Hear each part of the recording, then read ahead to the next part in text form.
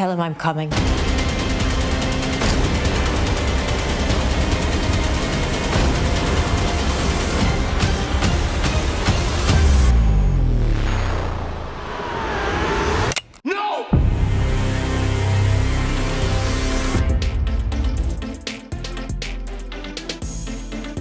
The, the writing of David uh, described him for me, I, I think. I, I, so I followed the writing.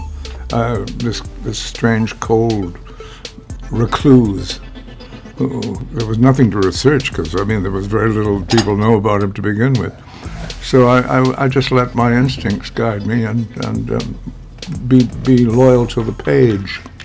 Yeah, I think Getty to me probably represent the beginning of great wealth that would occur more frequently. So now you have you're on the threshold of the evolution of the digital universe.